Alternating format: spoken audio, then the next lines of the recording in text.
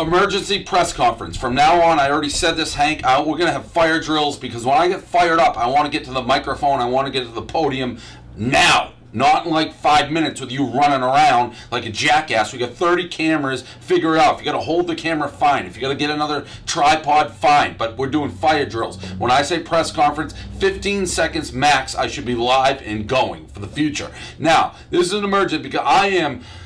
I got enough shit on my plate with everyone coming at the Pats.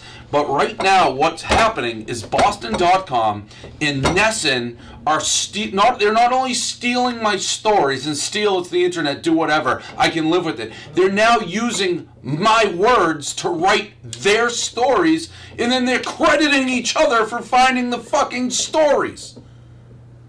It's bananas. This Michael Wilbon, I go home yesterday. Michael Wilbon, he's ranting about the Pats. PTI, I watch a show. I fucking DVR it every day. And he said if they find out in the next like 72 hours or something, if the Patriots um, were guilty of deflating the balls, they should be forfeit the Super Bowl. I vine it. In the name of my vine is something to the effect of this may not be the hottest take today or or this month, this week, the hottest take of all time. I did that. I put this on the internet. No one's talking about it. It's not even an issue if I don't vine this, blog it. Today, Boston.com and NESN are fucking tapping each other on the ass, crediting each other like credit to Boston.com, credit to fucking NESN. The first sentence in the NESN article is in terms of hot takes. This may be the hot. It's the name of my fucking vine. You can't credit each other for stories that wouldn't exist on the internet if it wasn't for me. These two websites should have my fucking face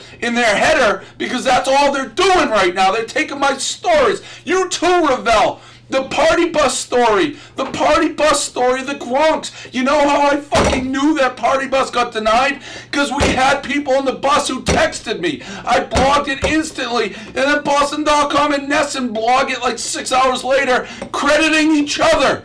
It's madness. It's madness.